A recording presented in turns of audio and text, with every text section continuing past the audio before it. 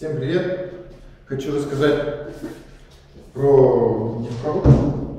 Собственно, про стык, внешний стык угла, а, ленту. А, в данном случае лента каналов а, с перфорацией и приклеивание, армирование шва вот этого угла. Давно уже, ну как давно, сравнительно, может, года два-три в России начали фрезеровать углы, то есть выфрезовывается, оставляется армирующий слой. Э, в данном случае у нас у гипсокартона армирующий слой является картон, с двух сторон картон является арматурой э, внешней, да, и оставляют один армирующий слой, под 45 вырезается, загибается, склеивается, и получается, что армирующий слой целый. И вот так уже в склеенном виде ставят, пришивают каркас к какому-то. Вот. Э, здесь студия, э, площадь маленькая, развернуться негде, фрезеровать просто получается не рационально. Да? Тем более у нас всего один короб, два угла здесь и внизу. Э, абсолютно нерационально, но хочется сделать максимально большим качеством. Да? Э, тем более здесь идет трубоотопление, какое-то тепло сюда будет поступать, а с той стороны внешняя стена, пусть даже лоджия застеклен, застеклена, все равно будет э, температура большой, большая разница температур, да, и сделать если классический, э, то есть один гипсокартон просто, и здесь гипсокартон, у нас получается довольно далеко, полтора сантиметра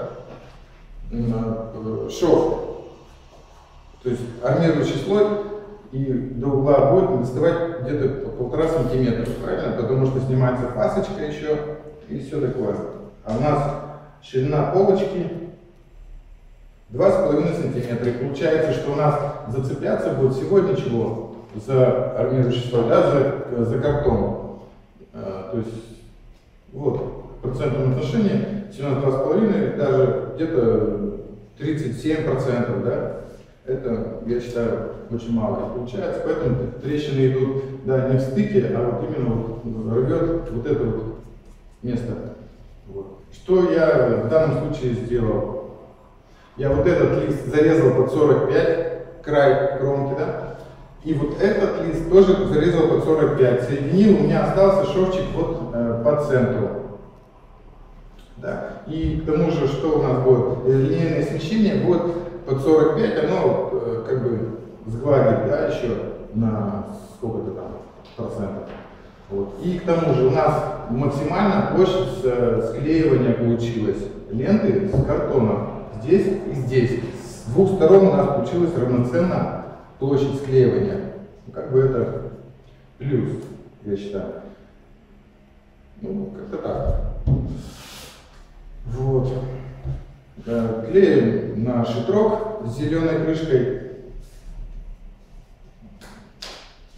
То есть наносится шитрок, приклеивается бандажная лента и все зашпаклевывается. И все получается очень хорошо. Вот. Подписывайтесь на канал, ставим лайки, дизлайки, кому что э, ближе к сердцу, скажем так. Добавляйте видео в соцсети, показывайте знакомым, я не знаю. Хорошие люди должны смотреть про хороший ремонт. Анонсирую, э, здесь делал штукатурку, а сделал, э, давайте покажу. Сделал три варианта. Э, просто глинцевание, без глинцевания и там вдалеке двойное глинцевание, чтобы показать как, э, в чем разница? Так, вот смотрите. Сейчас сфокусируем. Не хочу монтаж делать, пусть одним кадром будет.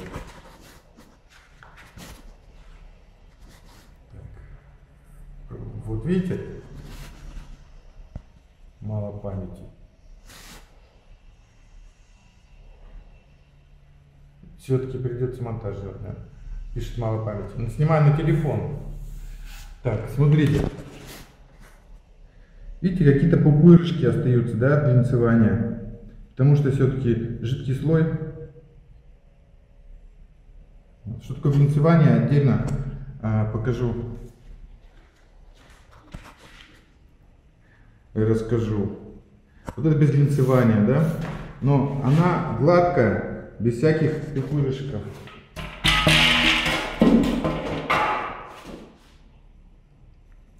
Видите, нет никаких пупырышков, ничего нет. Зато есть э, ямки. На любом э, клее производитель пишет, что э, любую глянцевую поверхность зашкурить, прежде чем э, нанести клей. Вот у нас как раз самый оптимальный вариант для шпаклевки. К тому же на глянцевую поверхность, чтобы не было пупырышков, нам еще нужно сделать двойное глинцевание. Вот, она будет у вас как пластик, гладкая-гладкая. Но я думаю, что даже грунтовка не проникнет сквозь него. Я сделаю видео с грунтовочкой, со шпаклевочкой на этих трех разных стенах. Поэтому добавляйтесь, подписывайтесь, я не знаю, смотрим. Все. Всем пока. Память кончилась, снимаю на телефон. Всем удачи!